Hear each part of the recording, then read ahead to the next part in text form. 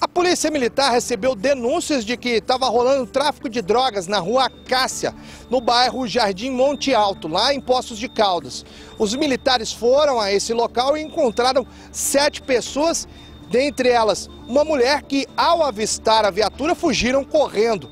Mas os militares conseguiram prender um indivíduo que estava nesse lugar e que seria, segundo os militares, um dos responsáveis pelo tráfico naquela região. A PM conseguiu apreender sete buchas de maconha e um tablete prensado da mesma droga. O material foi apreendido e encaminhado à delegacia junto com esse rapaz, que, segundo a polícia, disse que essa mulher tinha sido agredida com pedras e pedaços de telha porque estava devendo aos traficantes na cidade. A vítima não foi localizada pela polícia.